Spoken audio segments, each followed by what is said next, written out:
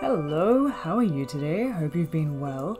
I wanted to try something a little different with this look. I saw Jordan Hanz a few years ago do a really cool backdrop on her body and a really cool glam look on her face, so I thought let's give that a try since I miss doing glam makeup. I begin this look using white and yellow to get that very pale look, and then I go in with a mix which is orange and white for the deeper part of that sky, and I make the light part a little more opaque because that was a bit of a train wreck.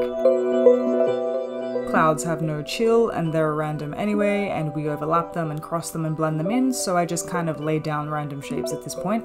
Overlapping light over dark, going back in later with darkness over some light, you know how it goes.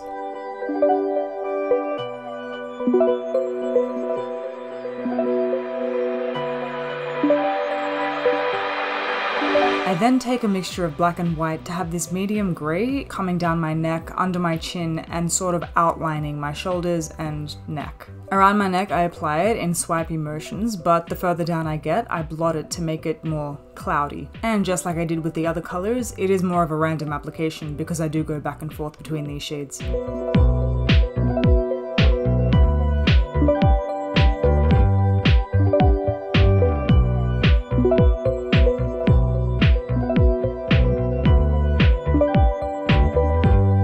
Make sure to lay down the base color for the arms and shoulders.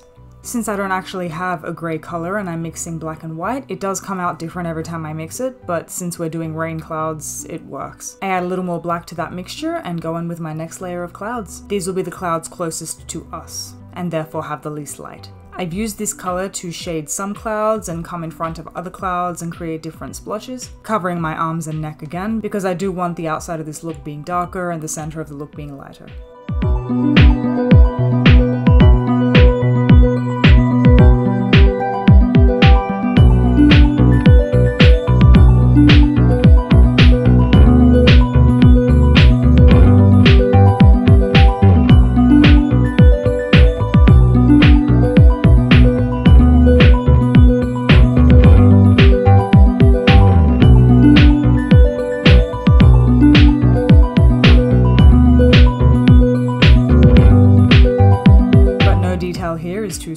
because even the smallest details look really, really cool. And since you know me and I like asymmetrical looks, I've made one side of my body darker than the other. For this next part, I'm taking a microfiber brush and I'm going in with that lightest white shade to create the wheat that is lit from the backdrop. And just like the sky, this color of wheat is going to be in the background. Then I go in with a brown, which I've taken, and I haven't mixed anything into it because I wanted to give dimensions to this field. And then finally, I use that duo fiber brush and pure black.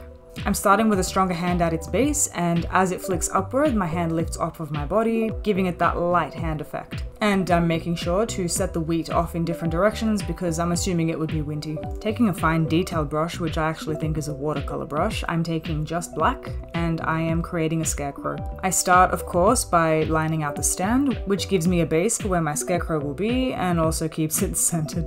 Now, Something happened here as I was drawing the scarecrow. I, I, pulled you in so you could see what I was doing because the scarecrow has more detail than any part of this look and then I got really in the zone and you missed it, sorry. Basically, it's just a floppy male figure, but I'm creating all of these little ripples in his clothing and his hat that's coming down below his arms, so any kind of silhouetted version of that, like a ragdoll looking thing, works. I think that having tattered clothing off in the wind is very creepy, so I added that, but you don't have to. I just think it gives it a little extra something. And whatever I've done to his coat, I've also done to his sleeves. I really wish you saw it. And since I'm painting this with a detailed brush, there are parts of this scarecrow silhouette that I've missed, so it does look sort of blotchy, which is why I go in in a second with black and create more shadows onto the back of him, where it's darker. I go back in with that black again, which seems to be darker, so yeah, the other one had white in it, and I create the foreground wheat.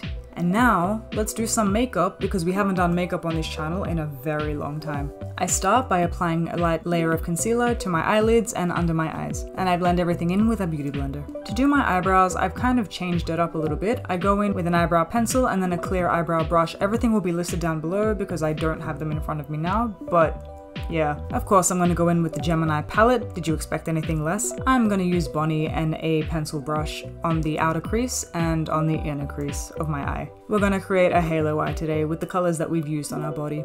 I figured it'd be fun to have themed glam looks, considering when I actually do go out for Halloween, I am wearing a glam look. So after I've gone in with my pencil brush, I blur it out with my blending brush. Now, this look has a lot of back and forth, so don't worry if it doesn't look too dark at first, we'll go back in a lot. I decided to use concealer now to brighten the center of my eye. Usually like a cut crease is done, but only because I'm using black and pale yellow. I figured they'd get lost and muddy, so I did it this way. And to do this, I've just used a little bit of concealer on a flat brush and I've applied it on my eyelid, avoiding any harsh lines and also avoiding either side of the black. Next up, I take Luna. It looks kind of dark now, but it will look really, really bright later. You saw the beginning, you saw how it's going to turn out. And all I do here is just pat it on top of that concealer, setting the concealer and also just applying the color. No blending here is necessary. Next, I use Lorelei and I apply that between Luna and Bonnie. You can sort of see where this is going. And I keep going back in with Luna as well to brighten that center. I go back and forth between Lorelei and Luna now until I get the shape that I want, and here I've taken a clean, fluffy brush and I'm just blurring out the ends that seem a little too harsh. Again, touching up Bonnie with my pencil brush, just to bring it out a little more because it was kind of losing its drama, and giving it more of a shape since before we blurred everything out. And now is foundation time.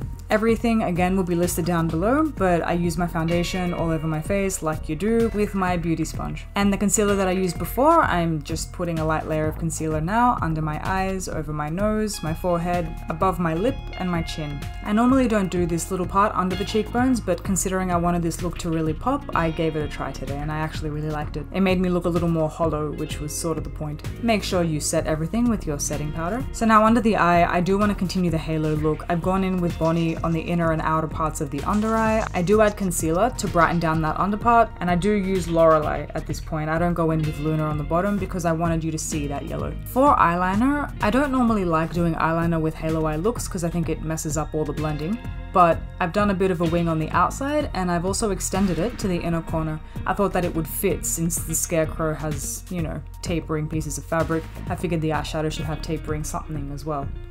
Then align the waterlines. I applied lashes off camera because it took me a little too long, and I applied my Better Than Sex mascara on top of that to give that extra drama. And make sure, if you do this look, to put mascara on the bottom lashes as well. Okay, don't get mad my camera stopped working and I used Lorelei from the Gemini palette and I did a sort of bronzer blush look and I took that shadow up into my temples, under my chin, and on my nose like a contour. For my lips, I'm using the Stone Lip Liner by MAC. The lipstick that I've gone in with is Whirl, which you don't see that, because I've covered it up with a yellow cream paint from my Ben Nye FX palette, just to give it that sickly tinge, and on top of that, I set everything with Luna. And that's the final look. I hope you enjoyed this one because I think I fell in love with this whole process. I loved that I was able to do both glam and body painting, so I'm considering doing the rest of my Halloween looks like this because it's just different and I had so much fun making it and I hope you liked it too. As always, thank you for watching and I will see you in the next one. Bye.